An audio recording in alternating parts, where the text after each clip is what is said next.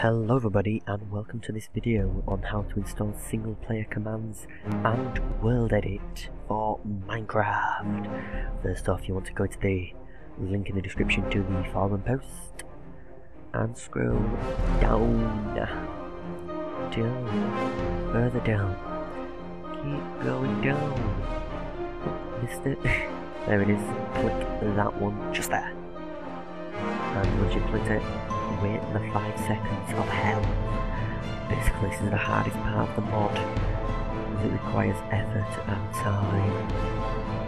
Some things which you don't want to waste.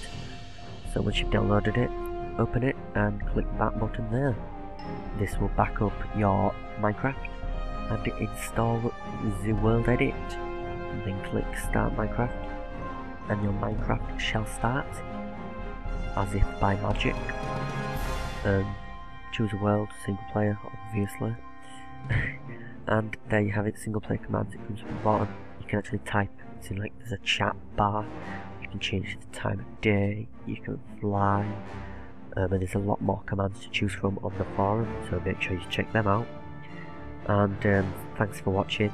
If you like this video and it helped you out, remember to like the video. It gives me a happy smile on my face and shows that it was helpful. Um, subscribing helps a lot, I'm not begging you. Beggars can't be choosers.